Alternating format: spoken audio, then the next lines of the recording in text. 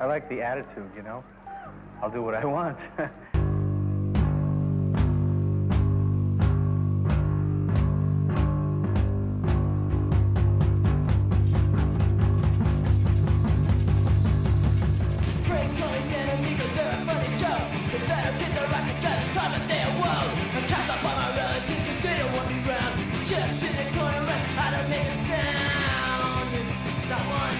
never a scene without a club. But if you grew up in Orange County in the late 70s, early 80s, the Cuckoo's Nest was uh, touring around Europe, you know, for years and years after, you get a lot of questions. probably the most important thing to happen in Orange County. Cuckoo's Nest. Tell me something about the Cuckoo's Nest. A lot of crazy shit went down there. People were just crazy, crazy into it. The Costa Mesa City Council tonight voted to close down the Cuckoo's Nest Rock Club, the only punk rock club in town. I really just wanted to uh, shove punk rock right up their ass.